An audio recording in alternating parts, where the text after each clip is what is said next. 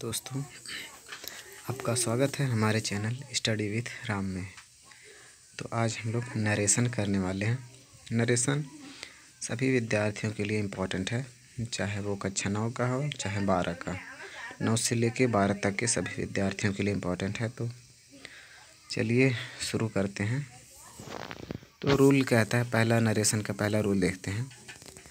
In the presence of you have been with congratulation we delete only you and join ing with have.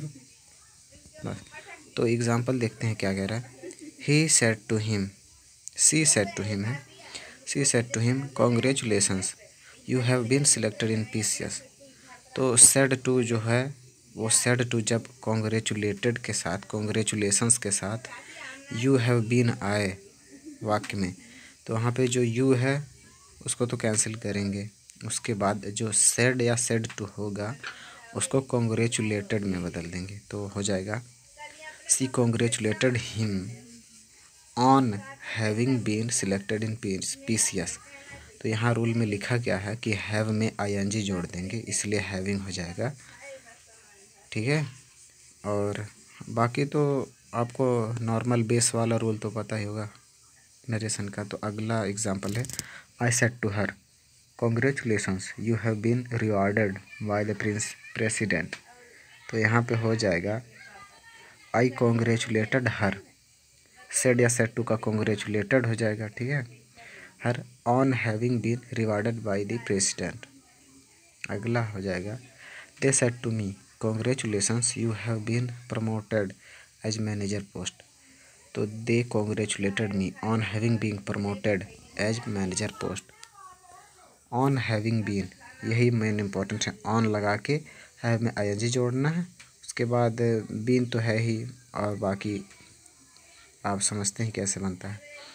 अगला rule है in the condition of thanks और thank you we displace said या set to into thanked and join object और vocative case तो इसमें कहा गया है कि अगर किसी सेंटेंस में थैंक या थैंक यू आ रहा है तो उसको जब इनडायरेक्ट बनाएँगे तो जो थैंक सेड या सेड टू है, उसको थैंक्ड में बदल देंगे। तो एग्ज़ाम्पल है I said to him thanks तो हो जाएगा आई सेड आई तो आई ही मतलब सब्जेक्ट तो सब्जेक्ट ही रहेगा। सेड टू हो जाएगा थैंक्ड में। और हिम तो अपने जगह पे ही रहेगा, ठीक है? क्योंकि थैंक्स आया है इसमें। इसलिए हो जाएगा I thanked him he said thank you Ramesh तो ही थैंक्ड रमेश तो अगले स्लाइड पे आते हैं। अगला रूल देखते हैं क्या कहता है।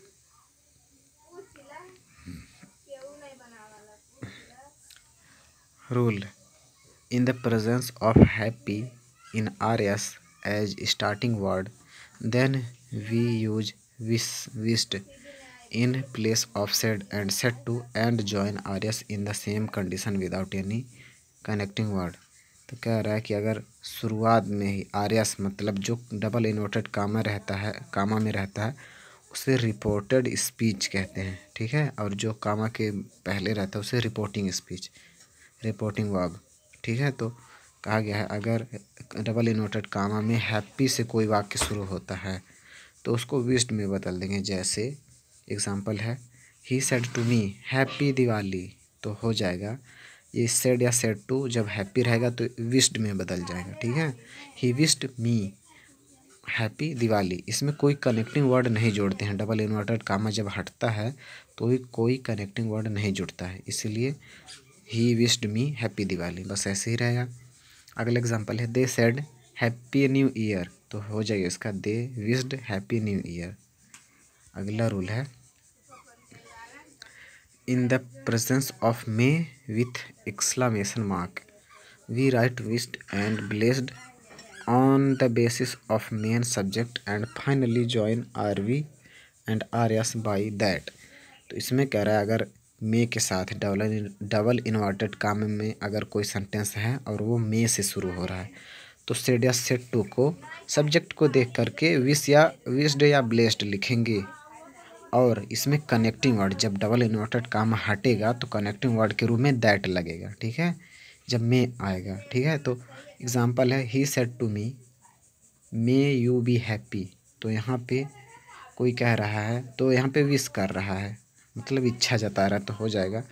He wished me said to के जगह पे हो जाएगा। ही विस्ड मी दैट है कनेक्टिंग वर्ड क्योंकि डबल इन्वर्टेड काम हट रहा है। He wished me that I might be happy ये मे का माइट हुआ है, क्योंकि ये सेड है पास्ट में है, इसीलिए माइट हुआ है, ठीक है? अगला एग्जांपल है my mother said to me may you live long तो यहाँ पे जो मदर है, वो हमेशा ब्लेस करती है, आशीर्वाद देती है। यहाँ पे विश नहीं रहेगा सेड टू के जगह पे ब्लेस्ड हो जाएगा। तो यहाँ पे हो जाएगा my mother blessed me that I might live long अगला एग्ज़ाम्पल है they said to him may you progress in your life तो यहाँ पे किसी के लिए इच्छा जताई जा रहा है तो विश रहेगा यहाँ पे। They wished him that he might progress in his life अगला एग्ज़ाम्पल है। The father said to the son जो पिता है, बेटे से कहता है may your journey be prosperous today तो यहाँ पे ब्लेस आशीर्वाद दे रहा है कि तुम्हारा जर्नी सुखमय हो। समृद्धपूर्ण हो तो यहाँ पे हो जाएगा the father blessed the son that his journey might be prosperous that day. Today का दैट डे हो जाएगा, वो तो आपको पता ही है। अगला रूल है। In the presence of optative sentence, in R S starting by the word good we join R S including object और vocative with R V without any connecting word, कह रहा है। Optative sentence. अगर डल, double inverted comma में कोई optative sentence है तो जब उसको इनडायरेक्ट स्पीच में बनाएँगे तो कोई कनेक्टिंग वर्ड रहेगा नहीं, ठीक है? और इसमें अक्सर करके बेड लगाएँगे सेड या सेटू को बेड में बदलेंगे, जैसे है ही सेड रोहित वह रोहित से कहा गुड मॉर्निंग तो इसका इंटरेक्ट बनेगा he bade Rohit said to को बेड में बदल देंगे। सेड या सेट टू को बेड में बदल देंगे, ठीक है? He bade Rohit, good morning. क्योंकि हमें यहाँ पे कोई कनेक्टिंग वर्ड नहीं जोड़ना है, इसका रूल है ये। They said to me, good morning. तो इसका हो जाएगा they bade me, good morning. ठीक है? They said to her, good afternoon. They bade her, good afternoon. अगला रूल है। In the presence of congratulations in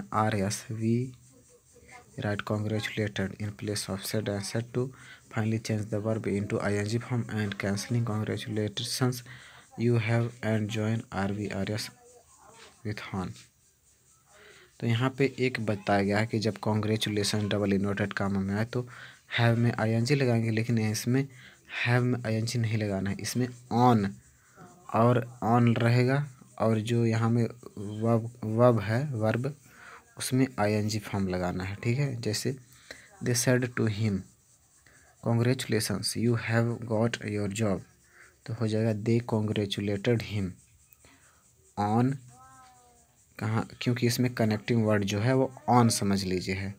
तो डबल इन्वर्टेड काम जब हटेगा तो ऑन है। ऑन उसके बाद you have get your job तो इसका हो जाएगा ऑन गेटिंग हिज जॉब ठीक है?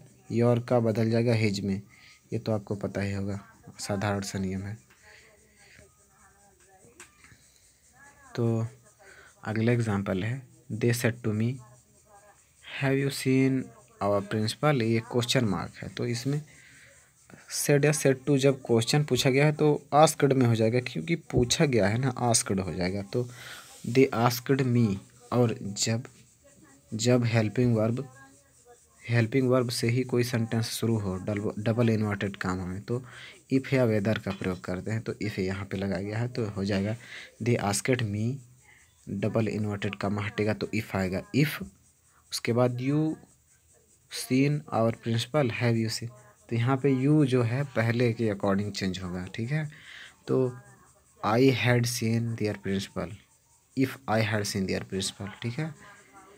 अगले एग्ज़ाम्पल है। He said to me what is your name and why have you come here तो हो जाएगा he asked me what what was my name what my name was and why I had come here अगला rule है, देखेंगे कि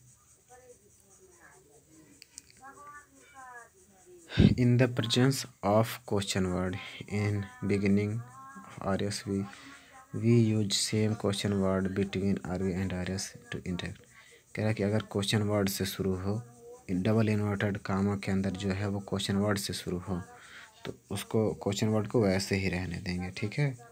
बाकी वही rule है तो आगे देखते हैं कि एग्ज़ाम्पल क्या है। He said to me brother अच्छा ये तो दूसरा एग्ज़ाम्पल है। चलिए, अभी आगे मिलेगा उसका एग्ज़ाम्पल सॉल्व करेंगे। रूल देखते हैं अगला क्या है।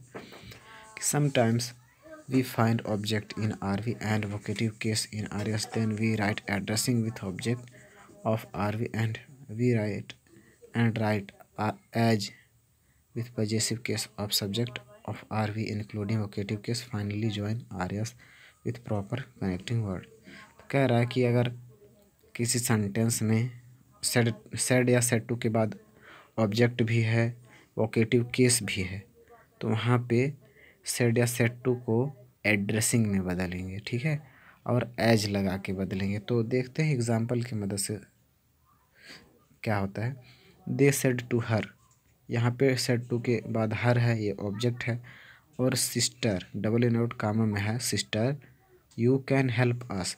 तो यहाँ पे जो सिस्टर है, ये वोकेटिव केस है। ठीक है? तो इसके लिए सेट या सेट टू को पहले एड्रेसिंग में बदलेंगे, ठीक है?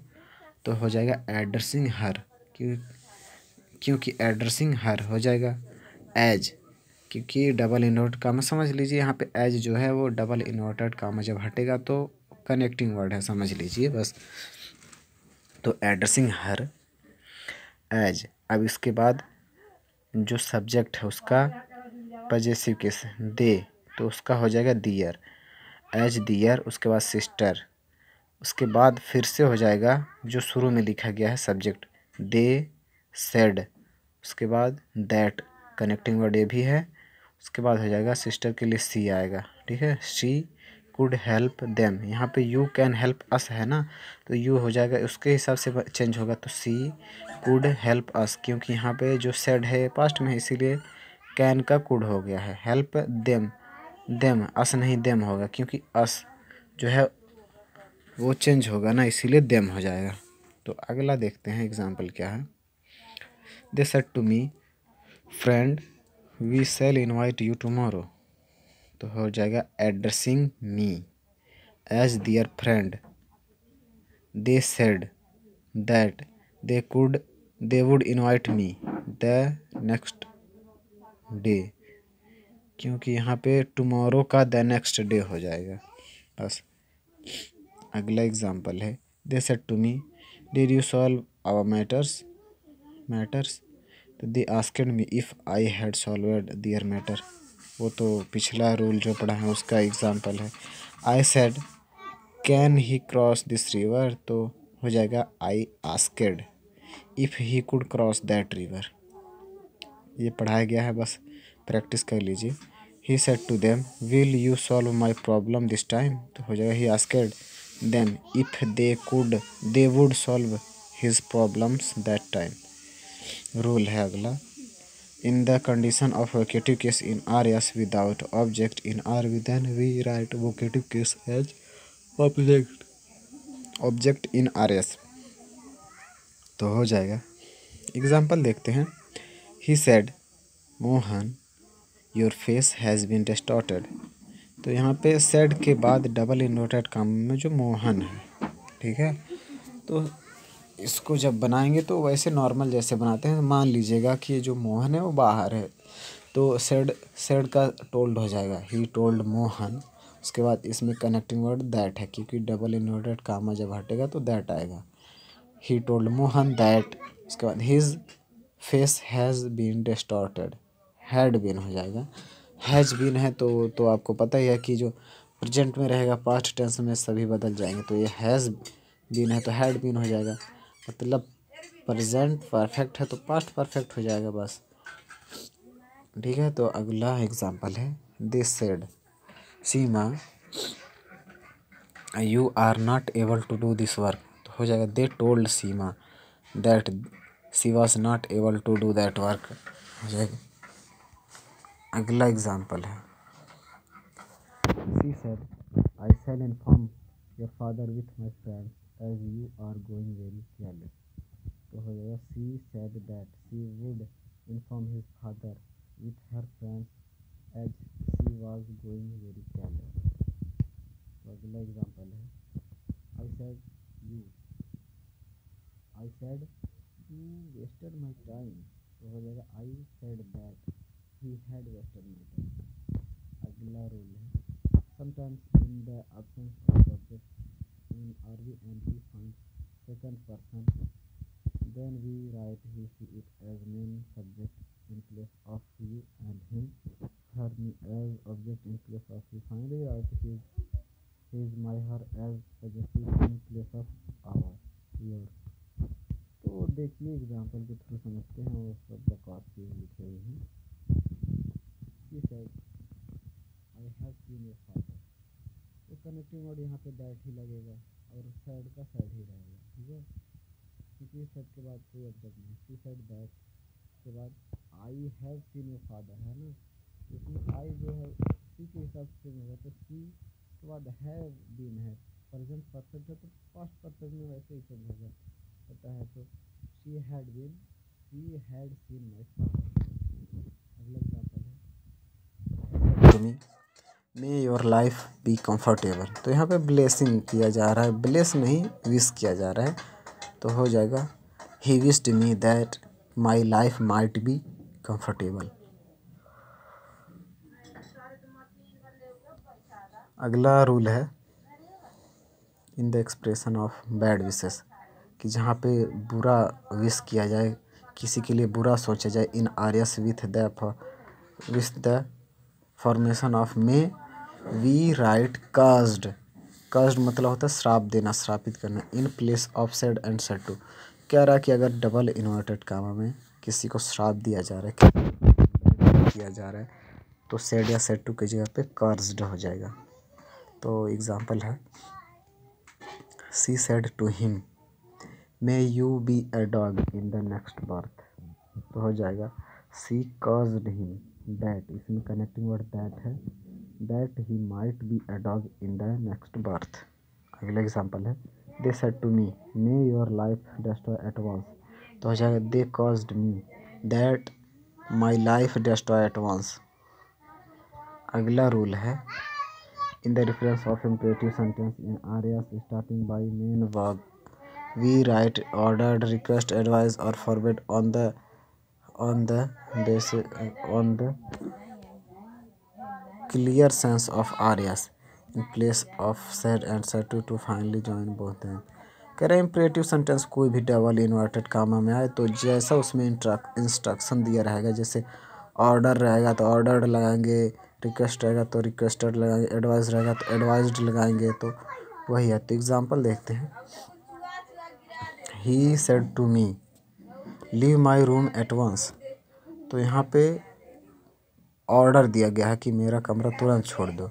तो he ordered me to leave his room at once अगला एग्जांपल है। She said keep to the left always तो she advised to keep to left always अगला एग्जांपल है।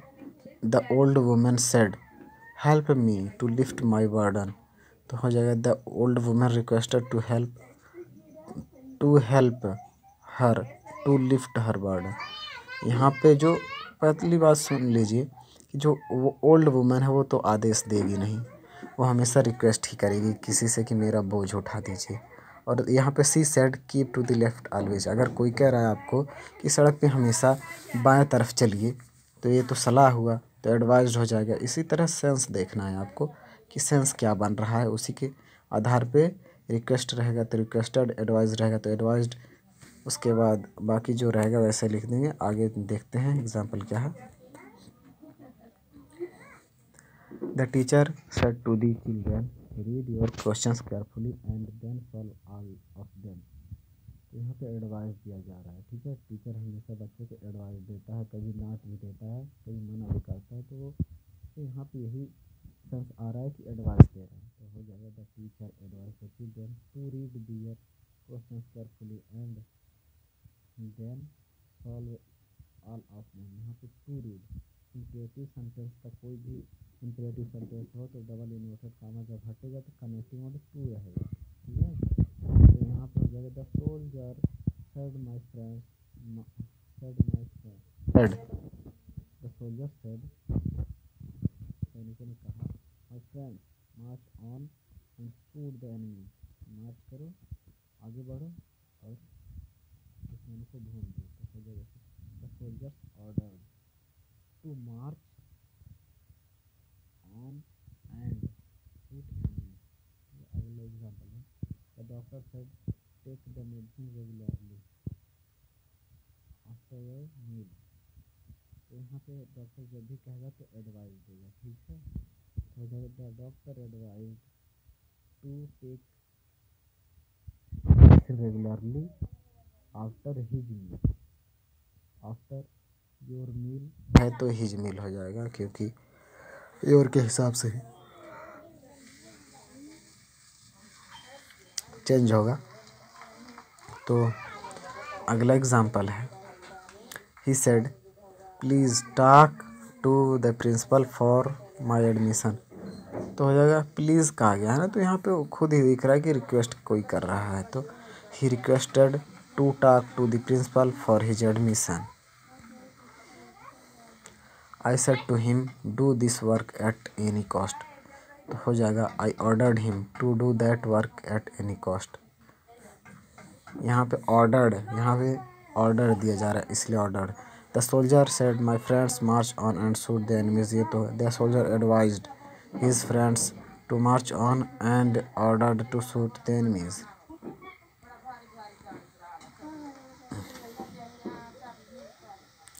तो हो जाएगा इसका example the commander said collect your ammunitions तो यहाँ पे ऑर्डर दिया जा रहा है. कमांडर जब भी कमांड करेगा तो समझ लो ऑर्डर दे रहा है.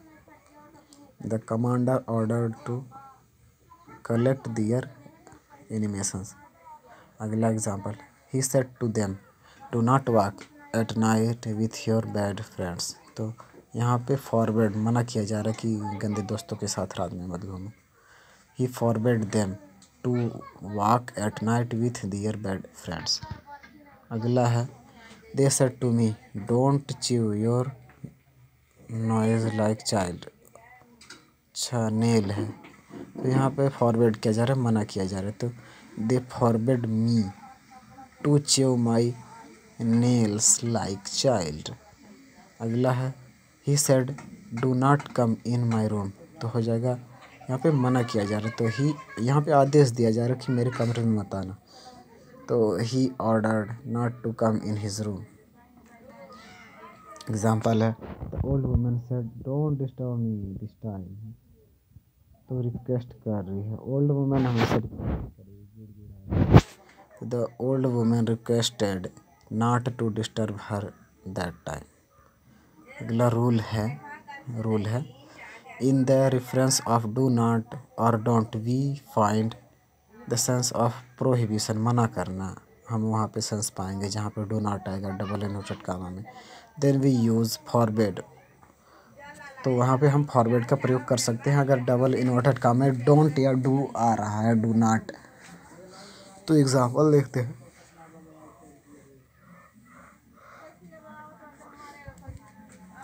He said do not play cards here तो यहाँ पे मना किया जा रहा है कि यहाँ पे ताश मत खेलो तो हो जाएगा। He forbade to play cards here क्योंकि फॉरवर्ड खुद ही निगेटिव वर्ड है, ठीक है?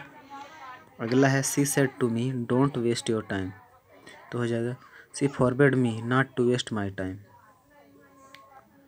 अगला रूल है on the country of base form of main main verb verb का first form we find let then we write request and order on the basis of person after let in the presence of me and after let in are us कह रहा है कि अगर late जहाँ पर रहेगा double in लोट कम है वहाँ पर रिक्वेस्ट ही होगा, ठीक है? तो एग्ज़ाम्पल देखते हैं। यहाँ पे है, पहला he said let me stay here तो हो जाएगा he requested to let he stay here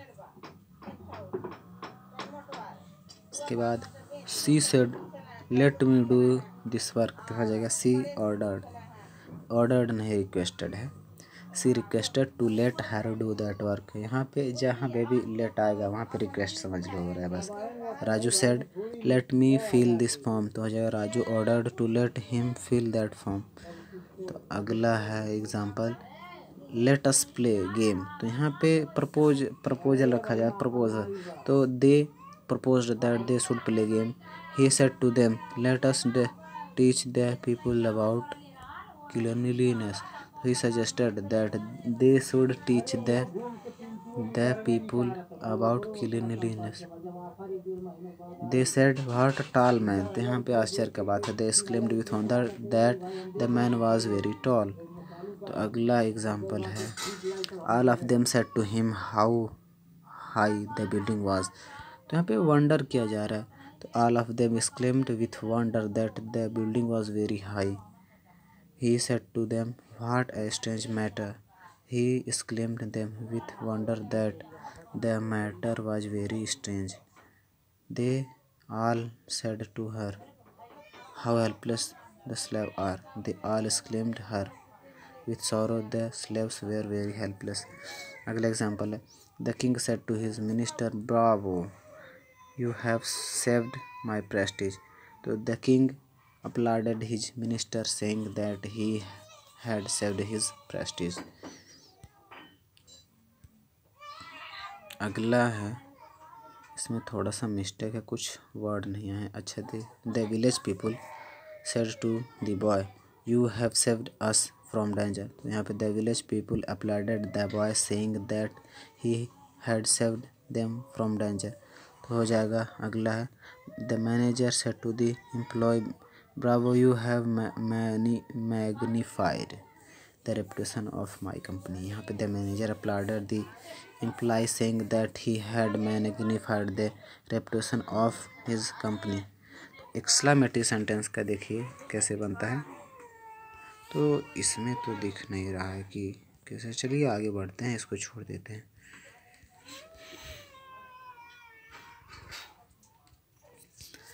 अगला एग्ज़ाम्पल है।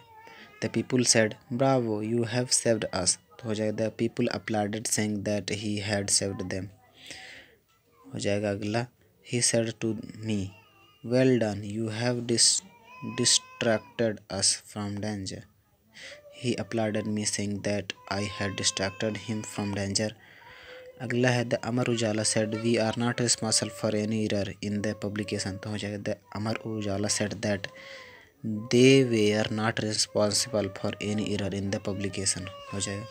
अगला है, Santosh said when I studied at Varanasi I frequently visited to Kashi Vishwanath temple तो हो जाएगा।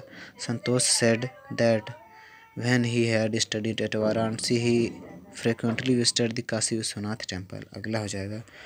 Do you want to go by air or sea, the travel agent asked, the travel agent asked if he wanted to go by sea or air. तो यहाँ पे if से शुरू होगा वो तो बताया गया है रूल अगला क्या है।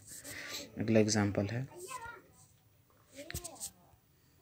I said let us play badminton तो यहाँ पे हो जाएगा I propose that they should play badminton अगला है forget all about this young man said said her parents do not see him again or answer his letter हो जाएगा। Her parents said to that forget all about that young man and for forbade to see him again or answer his letter तो अगला है, अगला example है। Would you show me your passport please he said तो हो जाएगा he he requested नहीं ordered रहेगा। He ordered her to show her passport. अच्छा यहाँ पे हो जाए he ordered to show her passport let us sell the house said Tom let us not said John यहाँ पे दो लोग हैं तो यहाँ पे Tom suggested that they should sell the house and John forbade that they should not यहाँ पे हो जाएगा the teacher said to the boy what a lazy boy you are how badly you have done your work तो शायद the teacher screamed with screamed the boy with anger that that he was very lazy and he had done his work very badly the son said ah the mother has come so soon तो हो जाए। The son screamed with joy that the mother had come so soon तो यहाँ पे addressing वाला तो आपको बताया गया है। लास्ट है कि for all your talent comma you are unable to solve this matter. तो हो जाएगा। फॉर आल जहाँ पे you have a lot of आएगा। You have a lot of talent comma yet, you are not able to solve this matter. तो इसी के साथ वीडियो समाप्त करते हैं।